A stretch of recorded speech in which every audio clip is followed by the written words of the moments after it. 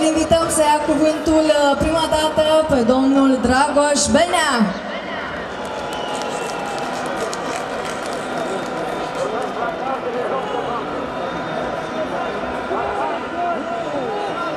Dragi ieșeni, dragi moldoveni, Hristos a înviat!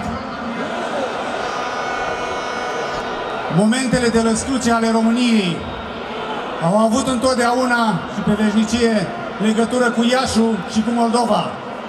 În ianuarie 1859 avea să se nască la Iași ceea ce avea să devină România Mare. Și poate România Mare a lui decembrie 1918 n-ar fi existat niciodată fără jertfa și sacrificiul Iașului și Moldovei din 1916 și din 1917, atunci când toată suflarea românească s-a refugiat în Moldova, din sud, din Francia eroică, până la Iași, capitala României la acel moment. Oameni buni, 9 mai 2019 este o zi importantă și plină de semnificații. Unii au încercat să o bagatelizeze, alții au încercat să spună că este ceva antiromânesc. Cum poți să spui despre sărbătoarea noastră că este antiromânească? Este antiromânesc să sărbătorim Europa Unită în orașul care l-a dat pe Mihail Cogălicianu, cel care acum 142 de ani a declarat independența României? Este antiromânesc să spunem că România și Europa nu se pot dezvolta fragmentat pe bucățele sau cu mai multe viteze. Este antiromânesc să spunem că suntem împotriva dublului standard, discriminării de orice fel, vrem să avem drepturi egale în Europa. Antiromânesc este să spui în regiunea Nord-Est că nu știu a se atrage fonduri europene. Vreau să le spun celor care spun că Alianța Vestului aduce doar dezvoltare, că aici, în regiunea Nord-Est, în Moldova, s-au adus cei mai mulți bani europeni în perioada 2007-2016. Peste 500 de milioane de euro atrași de oameni de afaceri și primari din zona Moldovei. Știm să atragem bani europeni. Nu mai spuneți că doar Alianța Vestului aduce dezvoltare și știe să atragă fonduri. Este antiromânesc să spui minciuni și să îndemn la dezvinare.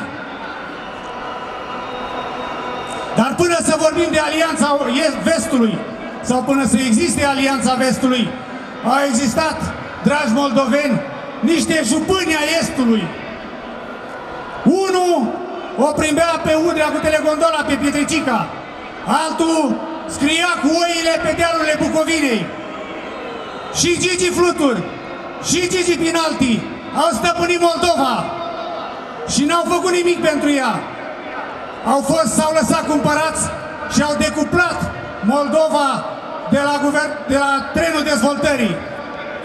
Unde era Gigi Flutur, omul de casă al lui Băsescu, atunci când se tăiau pensii și salarii și când în Moldova se închideau spitale? Să nu uităm acea perioadă.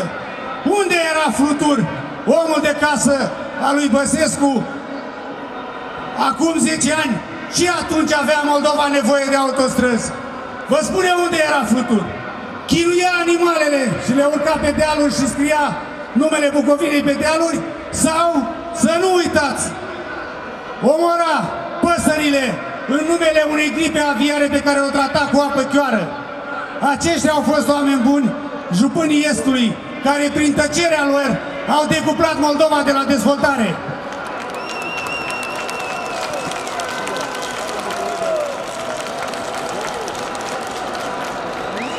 I-ați auzit zilele acestea pe Sică Mandolină și corabia lui de nebuni pe la adunările pe care le fac că doar din vest ar veni dezvoltare. Oameni buni, să știți că soarele pe strada Moldovei a apărut în 2013, când un român, un om, un patriot a pus pe hârtie, a conceput, a susținut, a finanțat a implementat Programul Național de Dezvoltare Locală de care știu toți românii, canalizări cu apă și alimentare, grădinițe, școli, drumuri comunale, drumuri județene, cămine culturale s-au modernizat sau s-au construit de la zero. Prin acest program nepărtinitor care a dus creșterea calității vieții peste tot, în toată România și bineînțeles și în Moldova. Vreau să-i spun aceleiași fluturi că împreună cu Liviu Dragnea am construit la Bacău de la zero și este funcțională o secție de radioterapie, una dintre cele mai moderne, care alină suferința celor care au probleme cu cancerul. Astăzi, la Suceava, înțeleg că vrea să facă același lucru, dar pe niște bani ai unor străini. Îl îndemn pe fostul om de casa lui Băsescu să meargă la guvernul PSD, să-i dea bani, să protejeze buzunarul pacientului sucevean, pentru că guvernul PSD a alocat cea mai mare sumă pentru sănătate din istoria României în anul 2019.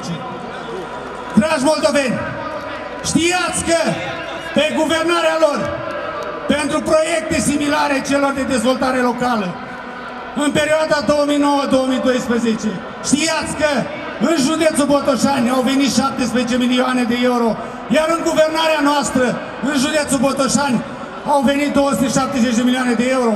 Știați că în județul Suceava, pe guvernarea lor au venit 30 de milioane de euro, iar pe guvernarea noastră au venit 330 de milioane de euro. Știați că în județul Neamț, pe guvernarea lor au venit 25 de milioane de euro, iar pe guvernarea noastră PSD 310 milioane de euro.